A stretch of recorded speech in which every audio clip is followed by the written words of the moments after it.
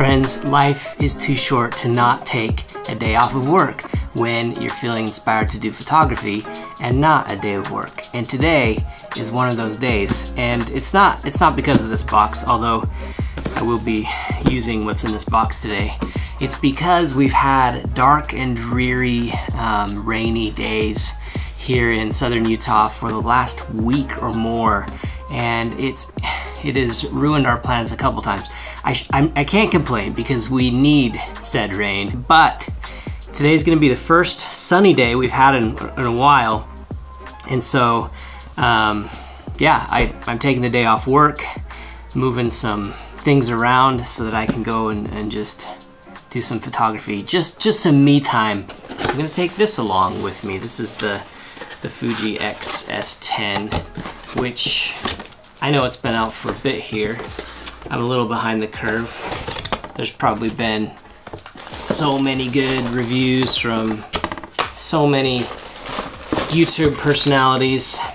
So I'm not gonna really review it. I'm sure there are some better ones out there, but I'll take it with me and see how it goes. Wow, that grip is that is a substantial grip for such a small camera. I did not expect that. I honestly, I know like nothing about this camera. I haven't watched a single review. Um, so I'll talk about it a little bit. But the point of today is to go, to be inspired, to take some photos. And I won't just be using this, I'll also be using probably more often for the photos. I'll, I'll be using my GFX 50R with my Mamiya um, 80mm 2.8 lens. This is pretty much my setup for most of the types of shots that I'm going for these days when it comes to rural landscape, um, rural decay, um, and for for like the A shots, I guess, or the main shots. And then for those backup shots, not the backup, I guess, the other type or the other style of shots that I like to get will be from this guy, and where is it? My favorite lens for the Fuji X system, 16 millimeter 1.4. I don't know where it is, which is not a good sign. I will find it and I will mount it to this. I will be vlogging with this and that beautiful lens the whole time and these will be the two cameras that I take and yeah blah blah blah let's let's go and here we are in Logandale Nevada pretty early on a weekday. I uh, I don't like mornings, and I don't typically get up for mornings. Certainly not for photography. Uh, I'm not a typical landscape photographer. Um, the only reason I'm up this early this time is because uh, during the winter months I have a health issue that makes me not sleep. Those of you who have been followers of the channel for a while will know that I deal with that. And so when I can't sleep, this is what we do. We do photography. So um, sunrise is yet to come up, but I saw this nice little shot here, and we're gonna start here this morning. See what we can get. We'll start with the GFX 50R on a tripod since we're low light. I don't use the tripod much because usually I shoot in sunny 16 conditions. Um, but before the sun comes out, we'll make use of the tripod. Right, here we go. So I think we're at 5.6 for this shot, ISO 250, um, eighth a second. And got the shot. I like the composition here at the uh, four thirds um, aspect ratio, but that's not why I shoot with the GFX 50R. Usually I like to get that um, 65 by 20 uh, for aspect ratio. And I'll try that here. The problem is that it's it is a busy highway here and the place where I would need to get that shot is in the middle of the road. But I might try to do that um, because traffic is pretty slow during these wee hours. So we'll try to get that shot, but I'll do that off camera.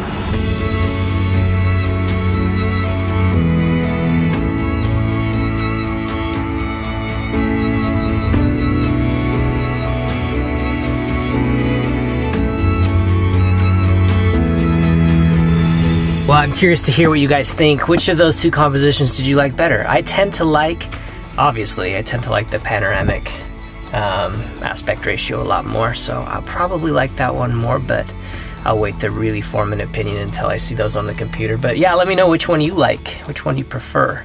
And in the meantime, we have another another scene here. We've got a train you can see off in the distance there. Um, looks like it's preparing to leave. So hopefully it doesn't leave before sunrise, which is what I'm waiting for to get a nice soft glow on it. Um, yeah, and I'll get a, another panoramic shot of the train just waiting for that sun. Um, hopefully it doesn't leave before it gets here.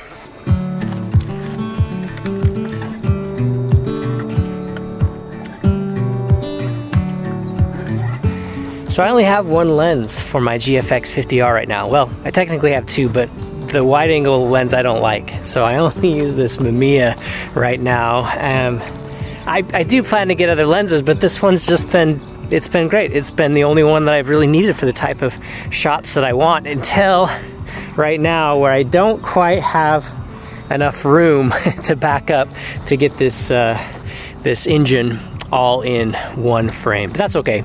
We'll stitch together a bit of a panoramic and we'll get even more megapixels out of this GFX 50R, but only slightly. I can almost get it all in frame, so I'm just gonna just pan a little bit. I don't like to add too much distortion um, and to go too crazy with stitching.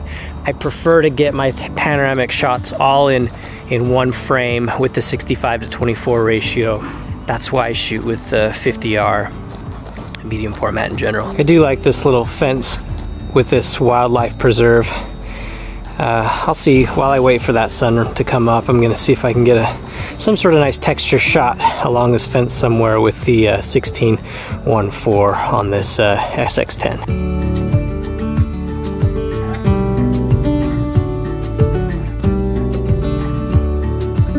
All right, that sun is now up. We're gonna get that light glinting off this thing. So, still got those nice clouds in the background, so we looks like everything's coming together for a pretty good shot. So, let's get it.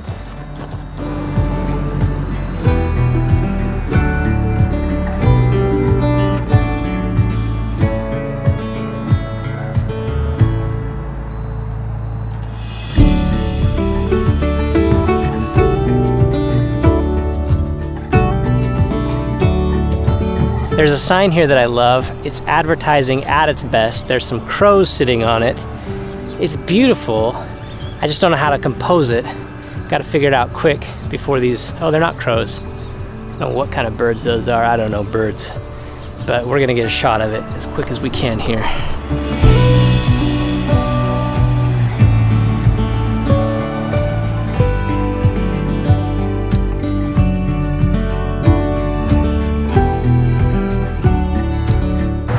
That four-wheeler was like one of the best things I've ever seen. I love that. I love advertisement like that. In a town where there's only one ATV rental, they don't have uh, the advertising competition. And so, you know, stick an old 80s quad up on a sign, why not? It works. And it's, I think it's beautiful. So, see if I can get another few shots here in this little town center.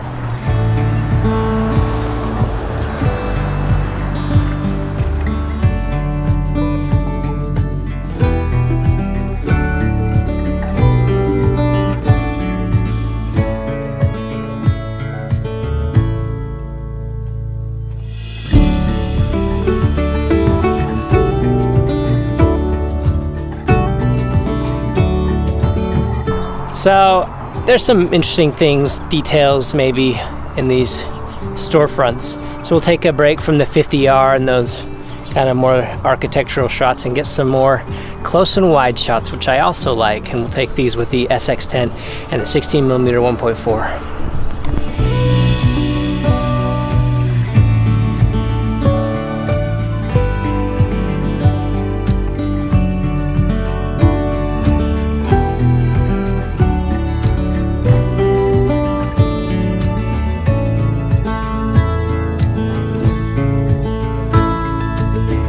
All right, my friends, um, we've been photographing for a little while here, but it's time for a little bit of a break and uh, a chance for me to reflect on the mysteries of life, the mysteries of the universe, the mysteries of the SX10, as I promised to give XS10. Did I say SX10? I keep doing that.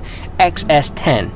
Um, I promised to give you a little bit of my thoughts as I photograph with this today, do some video with it. So let and then my battery ran out. Right then, my last battery of the morning, between the cold day and the fact that the, the XS10 burns through batteries faster than I expected, I did run out, didn't have time to share my thoughts. So while we wait for those batteries to charge again, I, I did go out and shoot more with the 50R. Here are the shots that I got. I hope you enjoy them. More on the XS10 later in the video.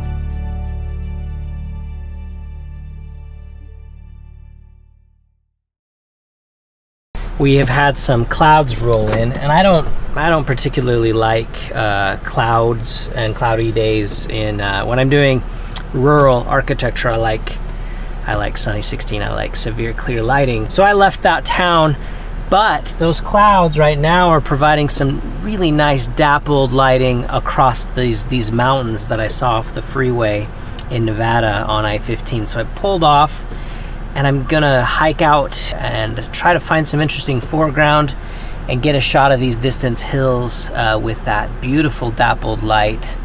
So yeah, let's go see what we can capture.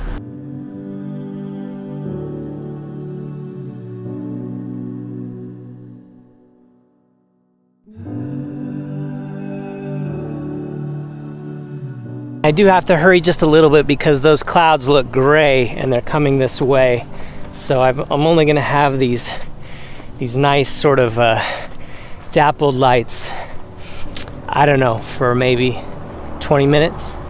So it's time to look for a composition out here in this wasteland.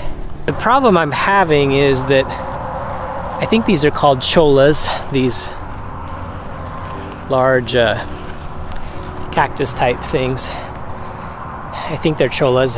They're so tall that they break the horizon, even break above the mountains.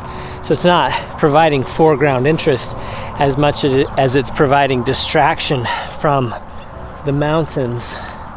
If I could get up on them a little bit, then maybe it would work, but just struggling a little bit to find the foreground interest that uh, that I was hoping to find. But we'll get there, we'll find it.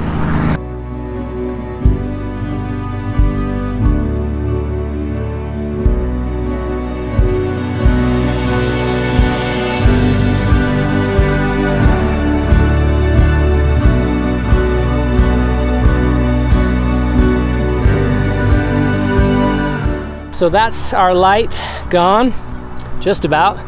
A little bit left and maybe I'll there's this rotting wood.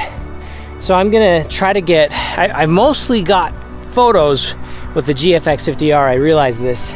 So I'm gonna take the XS10 off the tripod here, get a few stills in this area.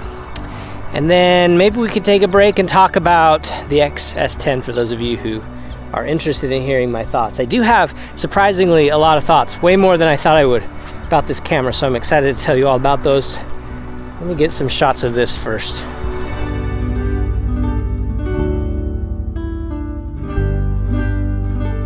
I am really loving the patterns created right here in this cholla plant. This kind of, these three swirls that point back towards the rest of this decaying structure. I just think this is such a beautiful, it's almost like these uh, golden ratios um, pointing towards the rest of the tree.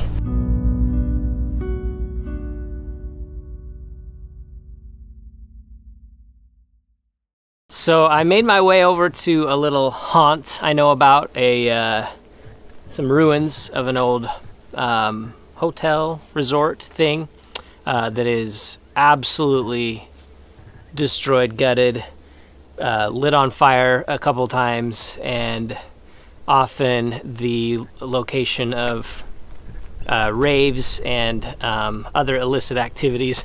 anyway, I like this location and we'll probably do a little bit of photography here with the SX10, XS10. We'll do some photography with that after I finish my little spiel here and finish it up with that. Show you some stills that I'm able to get with just that. I won't be shooting with the 50R because this is the just the type of location I like for the 16 millimeter 1.4.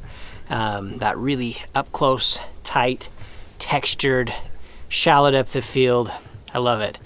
But let's talk about this camera. There are a few things that I really like about this camera. I actually have a lot more to say about it than I thought I would um, after just shooting with it for a day. This is just my kind of my first impressions um, as I kind of co compare and contrast it to what I'm used to shooting with. We have to put it first in the perspective of all of Fuji's cameras and the way that they, the way that you use them, the um, the usability, I guess, or the ergonomics and the handling. Um, there's kind of two philosophies, I guess, if we were to put it in in sort of uh, uh, dialectical opposition, whatever. Um, on one hand, we have the DSL, DSLR kind of uh, uh, paradigm, right, where aperture and shutter are front and back dials, ISO. A push of the button is what allows you to change ISO. That's kind of the DSLR style. And then you've got Fuji's kind of what they've brought back, which is more of an analog feel, where there's a where the exposure triangle, each thing gets its own dedicated analog labeled style dial. Now it's not analog, obviously. These are digital settings manipulated by a dial that looks analogish, um, but they're they're different ways to approach the usability of a camera. Uh, we all know that, and uh, whoever, you, depending on who you are, you're going to love that or hate that about Fuji. Um, and I personally love it for photography. Um, so what you have to realize is the XS10 goes on the DSLR side of things, right? It, it adopts the the um, the front and back non-labeled dials for aperture shutter. ISO is a button, right? Not a dedicated dial. That's different than the XT4. So while on paper a lot of things look similar, um, the the big difference is going to be that usability aspect. Um, now that used to be a big problem, the analog style for us hybrid shooters. For those of you who do shoot video and photos a lot, um, that was a problem back XT3 prior to that XT30 those those cameras because when you you switched from video to photo it was a big old pain in the butt to switch all those settings because there are not a lot of, of shared settings that you can use if you want to do both of them right. If you want to do photography right and video right in a run and gun situation, you've got to be able to switch back and forth very quickly. And those platforms did not lend itself to that. So XT4 solved that for us, for us hybrid shooters. We were so grateful for that, where a lot of you photographers hated it. You hate the flip screen, you hate those features that us video people appreciate. But here's the thing.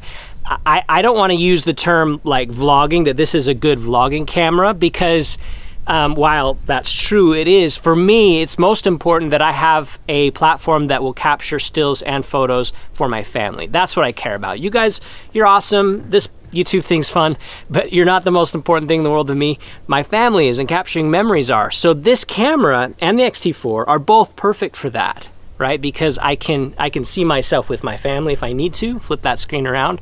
Um, but most importantly, I can get back and forth between video and photo on one device quickly, and it's it's wonderful. It really does make travel, um, experiences with a family, events, all of that much easier to do. So the difference with the XS10 over many Fuji devices is the mode dial, the addition of the kind of DSLR style mode dial, like I said. And I don't mind it too much for hybrid shooting. The way I use it, because I actually don't like going from like manual photography, the M, all the way to the video and back every time I need to switch is I just use C4 for my photo settings. You can you can set these dials to either remember when you uh, switch them and always update or you can save them to always be kind of a default. And I just have it be whatever my last setting was for C4. But I go from video to C4 and that's really all I ever use um, this command dial, or so far, since I've only been using this for a day, but I think that's the only way that I would use this dial to switch between video and C4 for photo. So that's the difference. And so depending on what you prioritize first, if you're a photographer first, video second, and you like an analog type feel or nod towards the analog, I'm going to steer you towards the XT3, XT4 side of things, even though those are a little bit more expensive. You'll have a more pleasant photography experience with those types of devices. But if um, you need video first, if you are a creator, or if you are capturing hybrid moments, and you um, and you like the DSLR style also, if you, either of those fit you, then you're going to really like the XS10. And I'd say I would probably steer you more towards that and save some money while you're at it. Um, so overall, that's kind of where I would place this camera and who I would say it was for thinking big picture. There's one thing I really like more about the XS10 than the XT4, and that is that the mic jack is up above the flip screen. So that means that the flip screen does not interfere with the where, where you plug the mic in. And that's a big problem on the XT4 because I've usually got a mic plugged in, but it's right there in front of the, the screen that's meant to flip around so that I can see myself and, and it's kind of fiddly and I, I kind of hate it. And I love that this is up and out of the way. So that's really cool. I love that they kind of moved that up. The problem with the mic jack, and maybe it's just this copy or maybe it's a combination of tolerances between this copy and my mic jack is that it's kind of hard to push the mic jack all the way in. And I may be the only one that have experienced that. You, if, if you're worried about that, do some research. The problem with that is that I have plugged it in maybe three or four times during this adventure, re hit record and talked blah, blah, blah, blah for a while and found that I, I didn't have audio because yeah, it wasn't plugged all the way in. And that was a huge point of frustration. And, and I haven't had that problem on like the XT4 or even the XT3. So, or it may just be that it's new, it may just be me, but that's something that I noticed right out. But aside from that, I love the placement of the jack. It's so cool. I really love the shutter sound as well. And, and this is gonna sound weird, but I am kind of a shutter sound snob.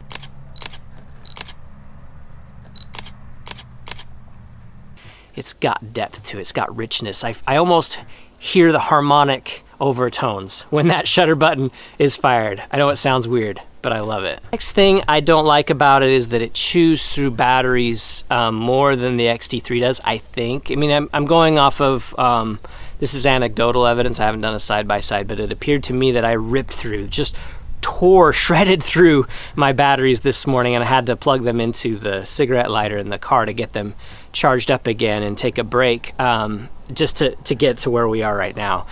And, uh, you know, the XT4 doesn't have that issue as much with the IBIS because it's got a, a larger battery capacity. But this this guy is going to chew through batteries. And I think part of the problem is that IBIS is always on, or I have I think it's set by default to always be IBISing, even when you're not um, like shooting and and that I think that makes some sense with photography, but for video that should be off by default. Like it shouldn't be trying to stabilize thing unless you're actually, you know, filming. Um, but that can be turned off. I know that it can. I just didn't do it, so that might be part of it. So battery management, that's probably my bad, but. Um, out of the box, keep in mind this is gonna chew through batteries and you need to be aware of that. The other one is related to IBIS also, and that it has a bug. And I'll show you footage I got on my phone of it kind of freaking out.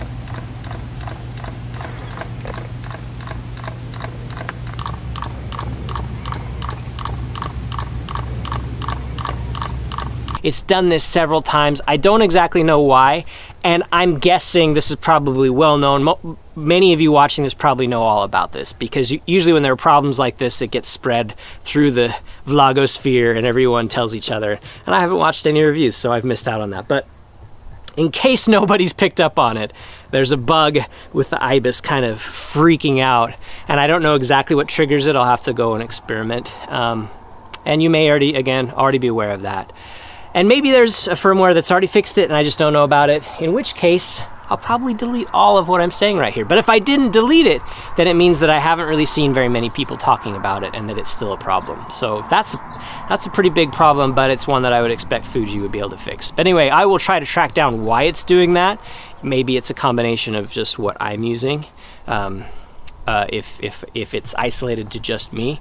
And I'll check back later, maybe do a more thorough review of this camera. But those are all my thoughts initially. In general, I would have absolutely no hesitation whatsoever using this camera as a hybrid shooter, as my camera every day. It is absolutely a viable alternative to the X-T4 in just about every way, unless you just can't abide the battery consumption. Other than, other than that, you can work around everything else, and it's uh, it's gonna work great, I think. Um, really excited about this camera. I like that big grip too. I forgot to mention that. I like that big grip. The XT30, XE3, the grip is not as chunky. Um, doesn't bother me too much. Like I'm okay without a big chunky grip, but it is nice. And it doesn't feel too big because the camera is rather diminutive. Okay, that's all my thoughts thank you for watching. Um, and I'm gonna now end with just a few shots that I get around these parts before I head on out back to home. So enjoy those shots. Thanks for watching. We'll talk to you guys again in a, a little while, soon, hopefully. I haven't been doing as many videos. I have a lot to tell you guys. There's a lot that I wanna say. I have about four videos that I wanna, like, yeah, there's a lot going on and I need to I need to do a better job of getting these videos out so I will do that. I'm excited about some things to tell you but until then remember to do good with your cameras and we'll talk to you again real soon